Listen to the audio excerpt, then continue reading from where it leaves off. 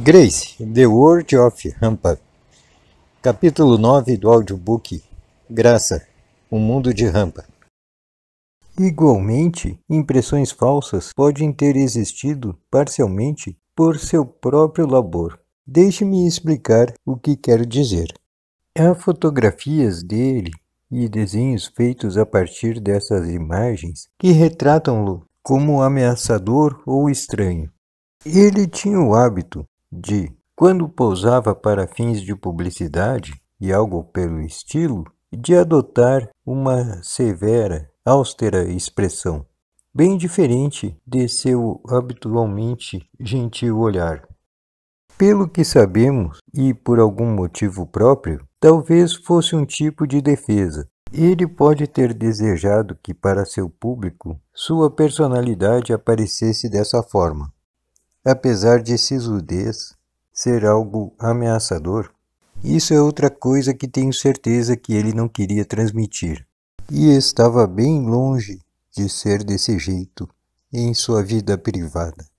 Ele poderia ter sido firme e até mesmo assustador, se a ocasião o justificasse, mas isso não era o normal de todos os dias em seu comportamento. É mais do que possível, então, que algumas das reportagens extraordinárias sobre ele decorressem das primeiras fotografias. Como todos sabemos, as capas dos livros de bolso são sensacionalistas ao extremo. Porém, ele não tinha controle sobre elas. A ele nunca foi mostrada uma capa antes da publicação. Ele nunca foi consultado sobre as sinopses que aparecem nas capas. Todavia, os editores, obviamente, eram da mesma opinião do meu bem intencionado amigo, igual a sensação do público de quanto mais sensacionalista, melhor. Outro aspecto da mesma situação, uma falsa e enganosa impressão, era sua voz. Em geral, a voz da conversação humana é um bom indicador de personalidade e caráter. Se você ouvir uma voz antes de se reunir a pessoa, pode fazer uma bem precisa avaliação do que vai encontrar quando se confrontar com ela, finalmente.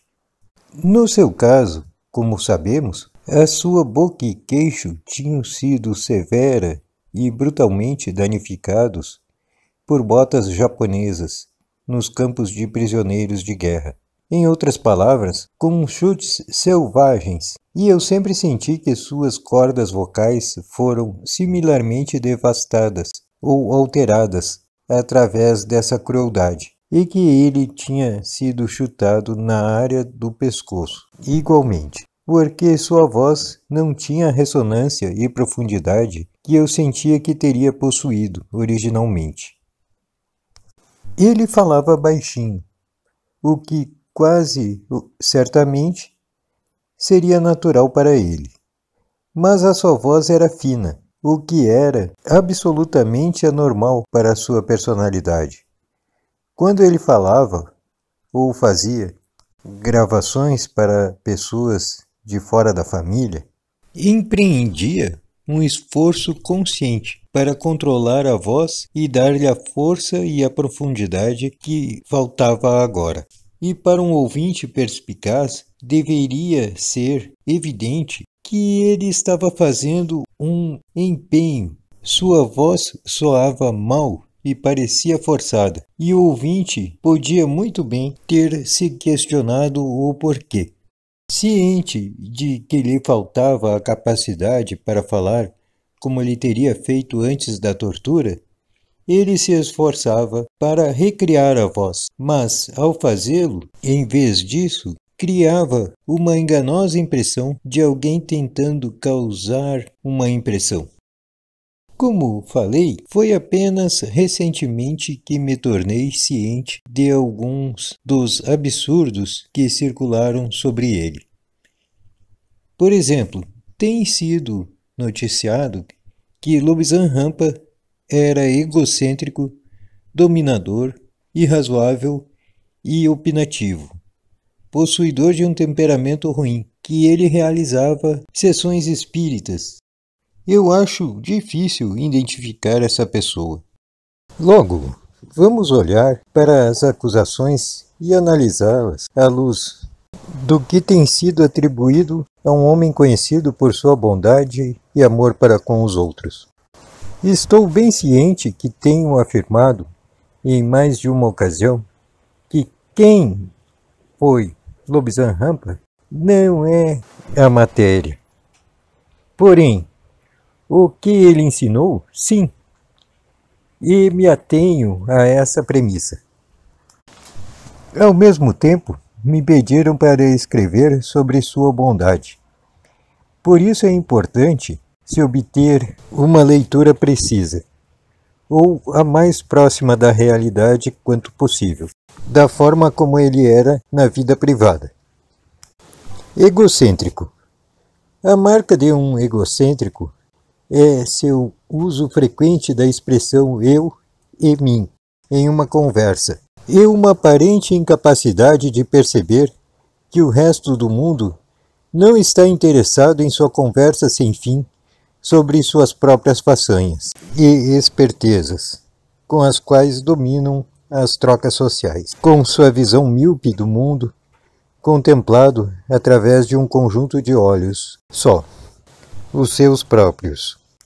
Uma pessoa como Lubzan Rampa cuja vida foi dedicada a ensinar aos outros e para o relacionamento com o próximo, logicamente nunca poderia ser acusado de ser egocêntrico.